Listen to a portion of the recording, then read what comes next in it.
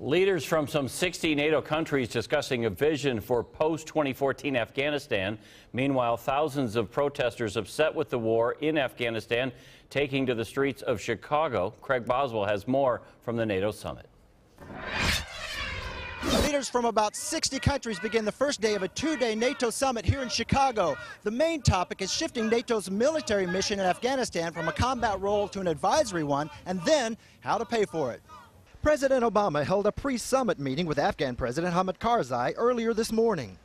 The NATO summit uh, is going to be largely devoted to uh, ratifying and uh, reflecting the broad consensus uh, that we are working with the Afghans over the next uh, several years to uh, achieve a complete transition.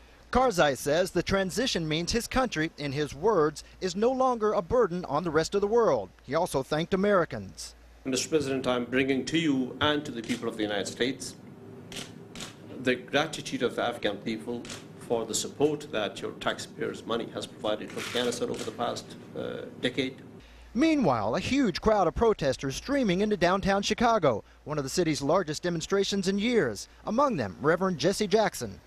We're now planning to expand more into Afghanistan, two to four billion dollars a week, while we are losing transit workers and teachers and police and firemen and closing schools.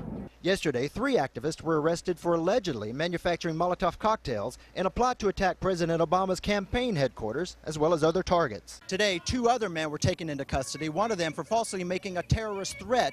Thousands of protesters are also fully testing the Chicago Police Department. In Chicago, Craig Boswell, Fox News.